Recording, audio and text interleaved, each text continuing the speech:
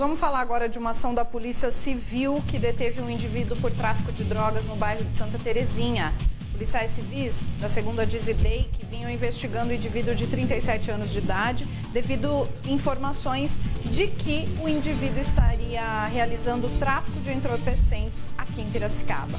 No decorrer das investigações, os policiais constataram que o indivíduo trabalhava, porém, antes de entrar no trabalho ou após sair, ele realizava entrega de entorpecentes com seu veículo em locais que combinava com os compradores. Na ocasião, munidos de mandado de busca e apreensão domiciliar, uma equipe da segunda Dizideic permaneceu observando veladamente o imóvel do indivíduo é, e constatou o momento em que ele deixou a residência a bordo do seu veículo, sendo abordado né, por uma segunda equipe, utilizando uma viatura caracterizada, a qual já aguardava ali nas imediações. Durante a busca veicular, os policiais civis localizaram uma mochila contendo um pacote de cocaína a granel também mil ependofes vazios e seis porções de cocaína já prontas para venda.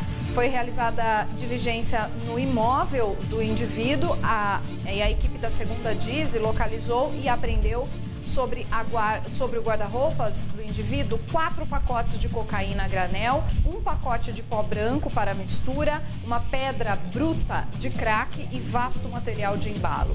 Diante das circunstâncias, foi dada voz de prisão em flagrante delito ao indivíduo. Ele foi conduzido até a sede da segunda Dizideic, onde foi feito o auto de prisão em flagrante pela autoridade policial da unidade, o Dr. Demetrios Coelho, e ele ficou preso à disposição da Justiça. Parabéns aí, parabéns à Polícia Civil, Polícia Judiciária, excelente trabalho de combate ao tráfico de drogas, né?